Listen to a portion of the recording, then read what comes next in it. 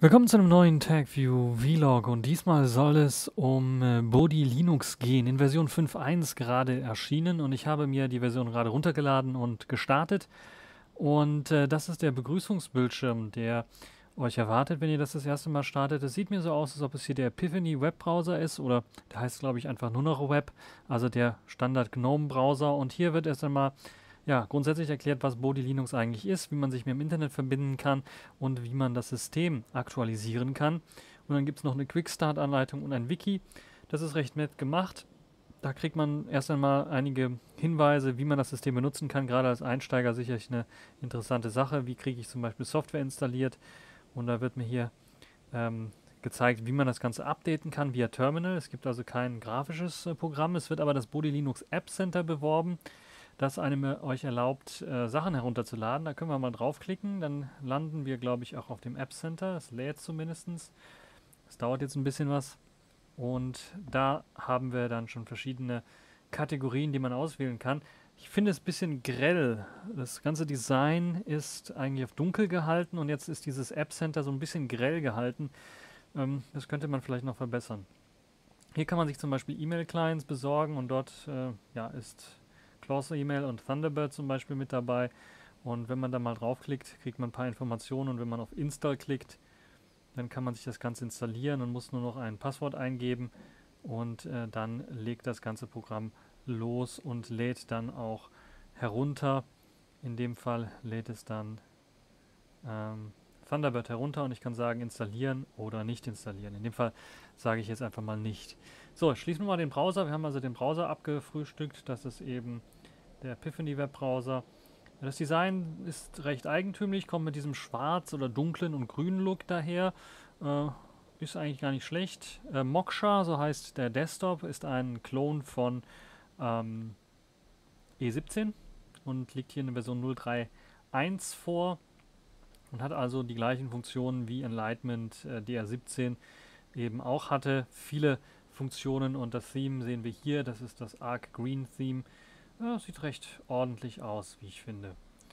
Äh, in Sachen Programm, es gibt ja verschiedene Versionen, habe ich ja in meinem TechView Podcast auch schon besprochen. Ich habe jetzt hier die Standardversion mit, ich glaube, etwa 700 Megabyte äh, ISO. Das ist schon ziemlich klein, aber die große ist halt 3,5 Gigabyte groß und bietet halt alles in Sachen Apps mit dabei. Hier haben wir dann äh, LeafPad, wir haben A-Render für die Bildschirmauflösung, wir haben natürlich den Installer. Ich habe es jetzt hier noch nicht installiert, sondern es läuft im Live-System. Wir haben ePhoto, zum Anzeigen von Fotos. Wir haben Web als Webprogramm und wir haben Pulse Audio. Und in Systemtools haben wir Terminology, Synaptic, äh, Network Connections, den PC Man FM. Äh, der kommt in der GTK-Variante daher, so wie ich das hier sehe. Ähm, ja. Und äh, damit kann ich dann also durch das Dateisystem navigieren. Ist ein bisschen schade, weil ich weiß, Enlightenment hat auch einen eigenen Dateimanager, der ein bisschen was besser integriert in das System ist. Aber klar, hier hat man mehr Funktionen. Und äh, da das Ganze bei Moksha auf äh, eben Enlightenment der, der 17 basiert mit ein paar Veränderungen, ist es halt ein bisschen was eingeschränkt. Der Netzwerk, Netzwerk äh, Manager ist hier mit an Bord. Das ist der GNOME eigene. Es gibt ein Clipboard, was mit dabei ist. Und es gibt natürlich auch einen Mixer.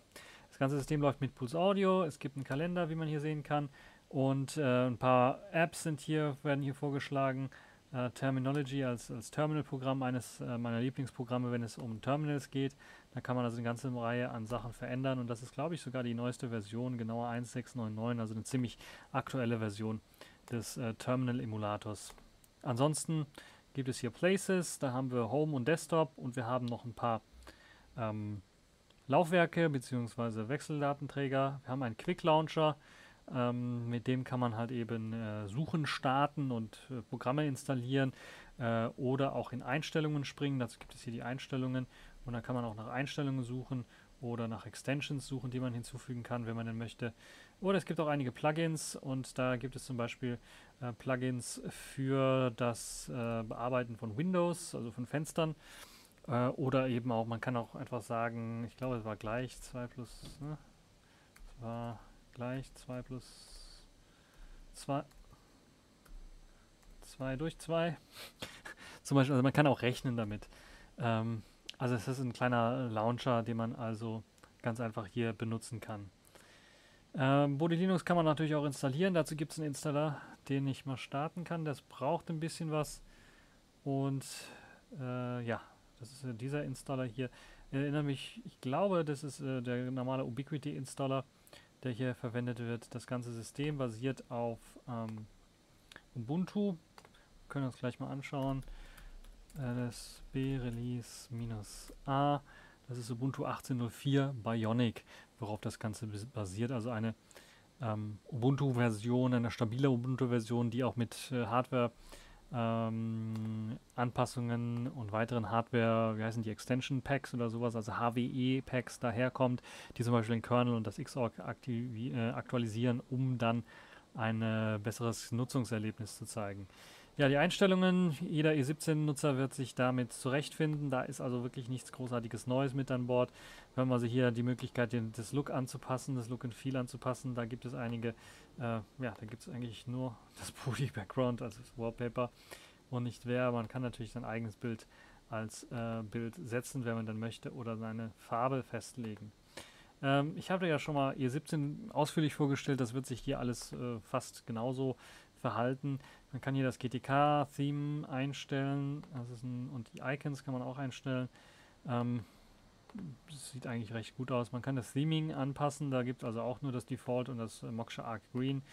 Äh, die Farben kann man anpassen, die, die, die ähm, Fonts, das heißt die Schriftarten lassen, lassen sich anpassen, die ähm, Fensterrahmen und natürlich auch Transitions, also wie soll äh, das Ganze aussehen, wenn ich von einem Desktop zum nächsten wechsle beispielsweise. Also in dem Fall ist das einfach so. Äh, und das kann ich natürlich auch ändern, indem ich dann einfach... Das ist natürlich immer so das Problem, das hatte ich schon bei E17 kritisiert und das haben sie bei Moksha einfach nicht behoben, ist, dass ich einige Fenster gar nicht verschieben kann. Äh, Desk Change und da kann ich wie Swipe machen oder kann ich auch ein Crossfade machen oder was anderes. Also da kann ich einfach einstellen, was ich denn haben möchte, wenn ich eben einen äh, virtuellen Desktop wechsle. Scaling und Startup. Startup habe ich die Möglichkeit, äh, nochmal den Startbildschirm zu ändern. So sieht der Startbildschirm hier aus. Im Kleinen seht ihr das Ganze. In Sachen Apps habe ich auch die Möglichkeit, ein paar Launcher noch zu, anzupassen und Screenlock-App einzustellen, Autostartprogramme einzustellen und äh, verschiedene Desktop-Environment, ähm, also verschiedene Desktop-Laufzeitbibliotheken zu laden, Kali und GNOME in dem Fall. In Sachen Screen ähm, gibt es keine Möglichkeit, den Bildschirm anzupassen und die Auflösung, schade. Ähm, da muss man, also man kann das Blanking zum Beispiel, also das Ausschalten des Displays äh, einstellen. Da fehlt mir mm, ein Tool, um das Ganze zu machen. Das gibt es jetzt hier, glaube ich, unter Preferences, da gibt es R-Render.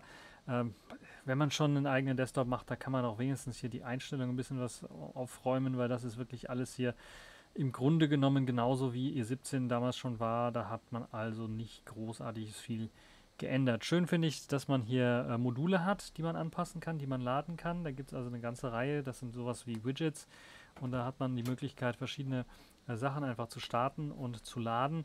Unter anderem kann ich zum Beispiel mit CPU-Frequenz äh, laden und dann wird mir das hier im Panel in der Shelf angezeigt und da habe ich dann die Möglichkeit, äh, Sachen zu ändern und äh, mir die Geschwindigkeit anzeigen zu lassen. Ich kann die Temperatur anzeigen lassen oder äh, beim Laptop natürlich auch den Akku an, anzeigen lassen. Jetzt bei dem Fall ist das, glaube ich, hat er den Akku nicht erkannt. Äh, aber ja, so funktioniert das im Grunde genommen. Äh, so habe ich die Möglichkeit, dort einfach äh, Sachen zu ändern und anzupassen. Äh, Desktop-Icons kann ich anblenden, einblenden, kann ich immer laden und dann sehen wir hier die Desktop-Icons. Und äh, wenn ich da doppelt drauf klicke, öffnet auch tatsächlich der PC FM. Das heißt, Desktop-Icons funktionieren ebenfalls falls ich das möchte. Ich habe auch noch verschiedene Launcher, Quick Success und den Everything Starter, den wir gerade eben schon gesehen haben. Ähm, und ja, das sind also im Grunde genommen fast alle Möglichkeiten, die ich hier habe, wenn es um äh, Widgets geht. Natürlich kann ich noch die Shelves verändern, ich kann einen neuen Shelf anlegen, falls ich möchte. Was mir so ein bisschen fehlt, das, was ich bei E17 so geil gefunden habe, war dieses, dieses Dock-ähnliche ähm, Shelf war es, ich weiß gar nicht, oder ein Gadget. Ne, ein Gadget war es nicht.